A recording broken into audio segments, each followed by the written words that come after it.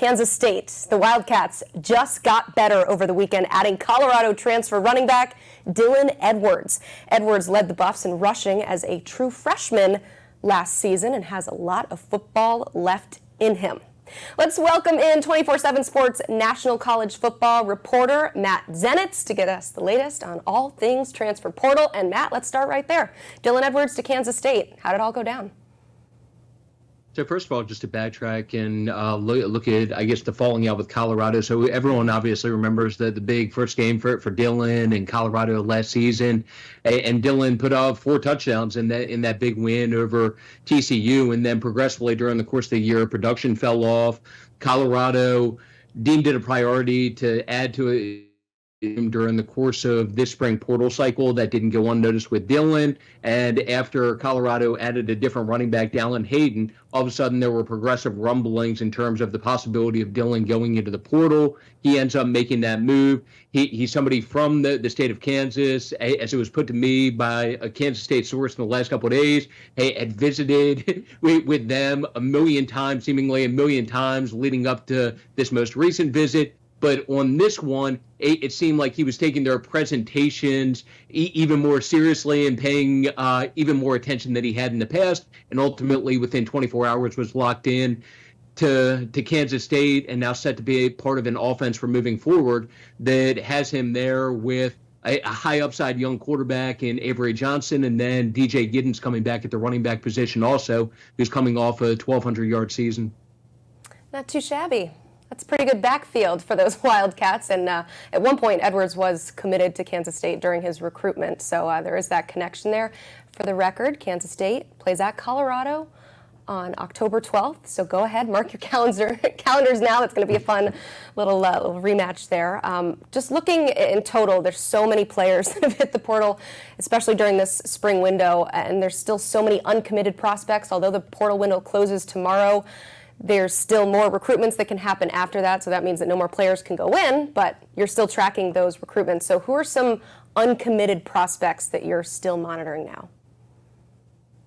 Yes, I guess we can start with, with the number one available prospect for us, J- Jason Zandamela, who is actually a true freshman. We was in the, the 2024 recruiting class and uh, had signed with USC, went into the portal, and it, it, became clear very quickly that wanted to get back closer to home. He's from the, the state of Florida, and right now it's a, a UCF Florida battle with Florida progressively on my end during the course of the last few days becoming the I guess you could say clear favorite at this point, even though UCF by no means do they feel like they're out of it right now.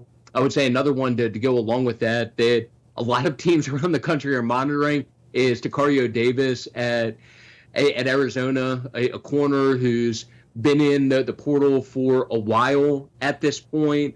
A- Arizona, and this is a conversation that I had as recently as today. Arizona is still optimistic about keeping it, keeping him, even though he has not told them 100% what he's doing, but hopeful that they're going to be able to get him to withdraw from the portal a- at some point in the, the next couple of days. And, then I guess uh, I, will end on Derrick Harmon, who is the, the top defensive lineman in the transfer portal at this point. Uh, Derrick was a big time player for Michigan State and has been very popular. Um, since entering the, the portal, just like he was when he wait when he went in during the winter cycle before ultimately returning to Michigan State. The the teams coming up most on my end right now one USC. USC hosted him for a, a, visit going back to the end of last week, and he also visited Colorado over the weekend.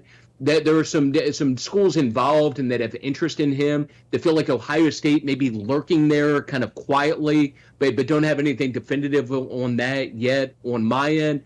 But hey, had been set to, to visit Miami the, the early part of this week. That visit is no longer happening, and there are some other schools that have had interest, like Florida State, LSU, that were hoping to get visits locked in that have been unsuccessful doing that thus far. Once again, those uncommitted prospects have time till they have to commit. But for people entering the portal, that window officially closes tomorrow, Tuesday at midnight. But I like that you and Chris Hummer clarified in a report that for grad transfers, they have one additional day, and we could see some stragglers as compliance works with the paperwork and everything. But in terms of last minute entrance, are there some names that we should keep an eye out for? Well, the, the, the biggest thing I would say is just wait, wait, what you just touched on. You gave me a nice segue there, so I appreciate that. So, so it's important to keep in mind that even though the, the portal technically closes tomorrow, um, first of all, compliance offices have 48 hours to actually process entry. So we're still going to be seeing players hitting the portal as far as undergraduates through Thursday. But but then Chris and I also learned today that the NCAA has a, has something that they put into effect for graduate transfers that after initially presenting things like graduate transfers would be on the same timeline and w- that they would have the same deadline as undergrads that, that actually they have one extra day to, to make a decision so graduate transfers have until the end of the day wednesday to submit their paperwork to compliance, and then compliance again has the 48 hours to process entries. So with grad transfer specifically, we, we could still see some of those guys entering the portal, hitting the portal a, as late as Friday. If it sounds confusing, it's because it is. that's why we have you on the show to talk about it, and that's why uh, you are a must follow this time of year and really throughout the year with all the breaking news. Uh, along those lines, you follow literally all of it. And it's very impressive to see all the updates. So, just looking at this portal window as a whole, I'm curious from your perspective, I'm going to put you on the spot here. Which team do you think did the best job of taking advantage of this spring portal window? I have recency bias a little bit, so I'll go with Miami. So, so Miami has definitely uh, been hot the, the last few days, and, and, obviously have the, the rundown there. Just in the, the, the last couple days alone, add one of, one of the top running backs in the country, and Damien Martinez, a, a two-time All Pac-12 selection. Add Sam Brown, arguably the, the top wide receiver to go into the portal this cycle. Add a starting linebacker from Louisville, Jalen Alderman, who reconnects now, reunites with, with his former linebacker coach, Derek Nicholson and, then also to, to go along with those three, bring in an under the radar cornerback from Marshall, Deani Hill, who, even though the majority of the country probably has no idea who Deani is, and I won't hold or uh, we will not hold that against you if you if the name doesn't re- immediately ring a bell. But but I will say with Deani, they're talented enough that that he was getting interest from several Power Four teams to go along with Miami, including at least one that, that comes to mind in the SEC. So a, a sleeper, nice under the radar pickup for them to go along with the aforementioned three. And the the word that I've gotten out of the Miami camp is that from a portal standpoint, they very well may not be done yet. Hey, look at this spring portal window as a place to add depth, not necessarily starters, but looking at that list of the Miami transfer pickups, they added starters during this portal window. Matt, thank you so much for being here. We appreciate it.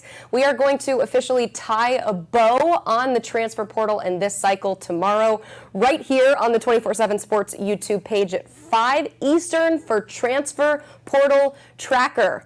We will recap the biggest storylines with our insiders. One last call today, though, to make sure you hit the like button on the way out and that you are subscribed so you don't miss a moment. Thanks for watching.